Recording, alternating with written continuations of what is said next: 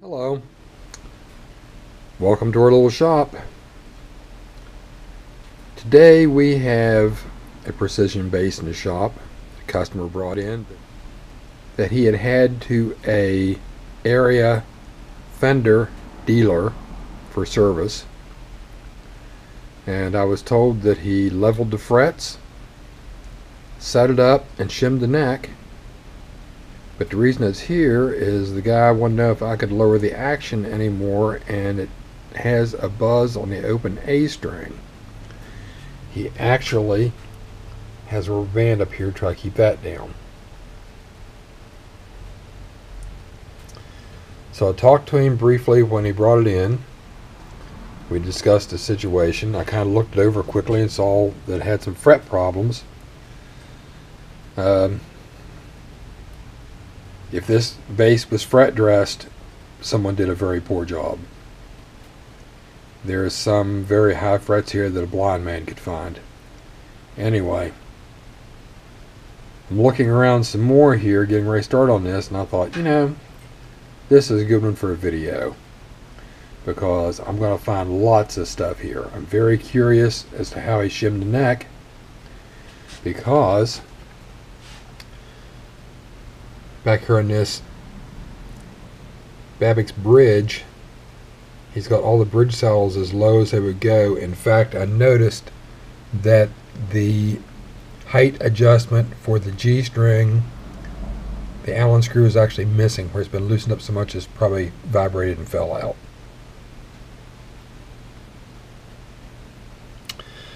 I also got a peek at the truss rod nut in here. Not happy about that. You can uh, see here where it's scuffed up around the pick guard where someone's tried to force the wrench in there to straighten the neck.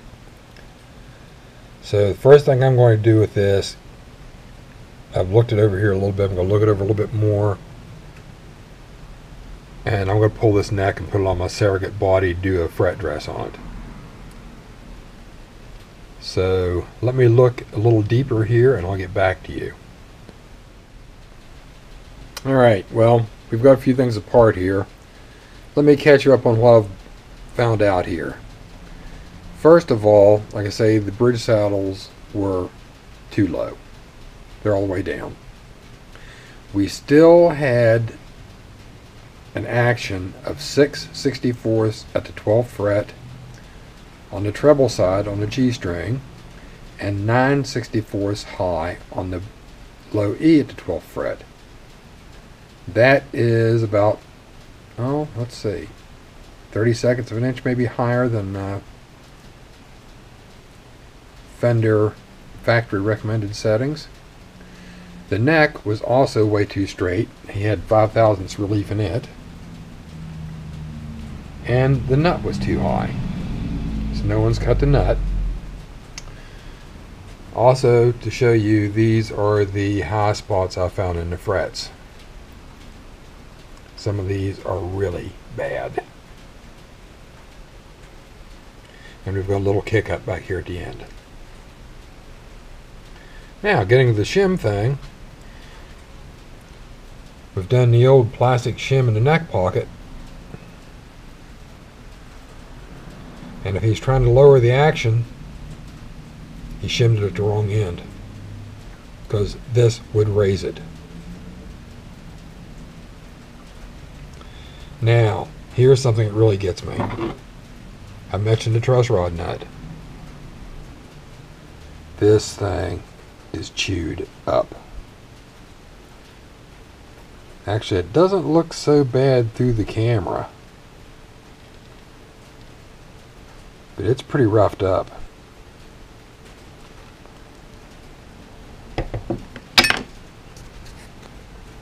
I never did care for this type of thing. And that's what's been used on it. They've come in at an angle through the pick guard here. And this rounded ball socket is what was contacting the nut for the truss rod. And has rounded out the end of it. And we've not got much room to get a hold of it. So we're going to check that out. I've also come to the conclusion I'm not going to be able to put this on my neck jig because we've got a different bolt mounting. My neck jig body is set to match vintage fender necks. So I may end up actually popping the pick guard off this to work on it. We'll see. I may actually have to jig up this original body. But I definitely have to neck jig it to do a decent fret dress on it. So okay, there we go. You're caught up to this point. I'll be back. As you can see, we've made it to the neck jig. I've opted to uh, use the original body here and I've just disconnected the pickup from the volume pot and the ground lead from the back of the pot and we'll resolder those later. This gives me full access to the truss rod here without any problem, which I cleaned up that nut a little bit and lubed it. There's only about maybe 3 sixteenths of an inch grip range on that nut to start with. So I made sure I had a very clean wrench to use and it's working. So we're going to leave that alone. In a perfect world, uh, we could replace the truss rod nut, but it's really not necessary at this point. As long as care is utilized. Especially after it leaves this shop. Anyway, we've marked the frets back out again. I did a rough leveling on those before I put on the jig uh, to get a better reading of the neck. It seems we have a hump right through here that we need to deal with. I have my various straight edges here in my file. We're ready to start making some file dust. Then we'll start sanding. Then we'll sand some more. okay, time to start getting to work on these frets. So far, we have about an hour and a half in. We have the frets leveled and the top sanded. I've actually already finished the first one. 19 more to go. So a little bit over an hour, I should have uh, all these frets dressed. Got to shape them and polish them and all that. So it's going to take almost five minutes per fret. So I'm going to get a drink, get my finger protectors on.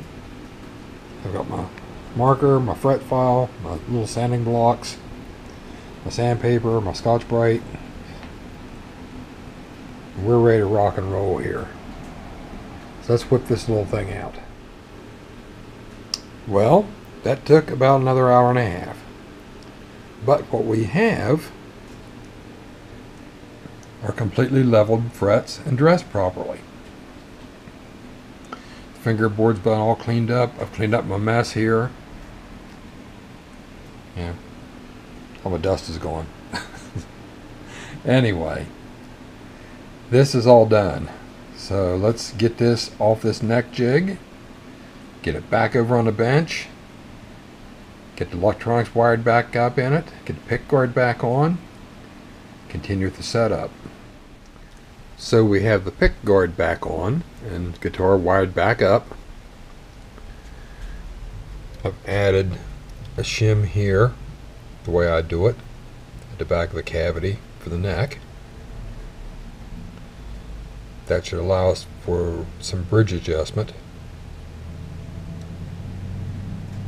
I'm probably also going to have to put a lateral shim up here on the bass side of the neck.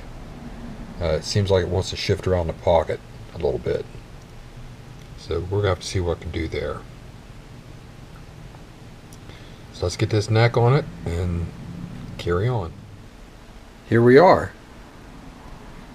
We've got the neck shimmed and aligned. Yes, the strings are straighter on the neck now than they were. They won't shift around. We have our nut cut. We've got the intonation all set. Uh, I have to make a run to the hardware store here and see if I can find an Allen screw to fit his bridge that's missing. I borrowed one from the D string saddle set up the G string, then I put it back in the D to finish up. So I gotta go find him a bolt for this. End up recutting the nut up here. The A string, for some reason, was three times as high as it should have been. It was barely sitting in a nut. And yes, I measure the height from the first fret. I'll also check to make sure it plays in tune. We've tightened up these tuning keys, you know, did all the same stuff I usually do. At this point, this bass is finished. I just need to go find this bolt and get it in it and get the G string height set and he's good to go. Time so far? Roughly four hours.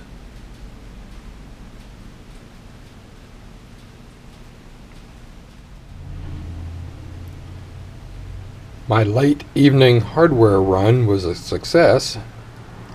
I managed to find an 832 thread 5 16 inch long set screw that worked back here for the bridge.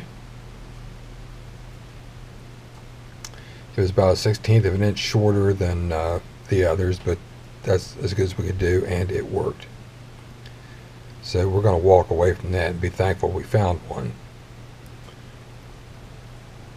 So I checked the bass all back over again this morning, made sure his neck relief was still all right, checked it all back over. Uh, we'll let it settle a few days, check it some more. Uh, check it every day before it goes out the door. So we plan on this bass leaving Saturday. And it is Tuesday morning. Early. Cold. I think it was like 20 degrees out there this morning. Anyway. There you go. Another bass.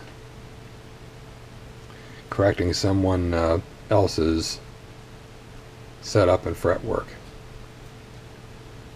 So until next time, play nice I'll see you later.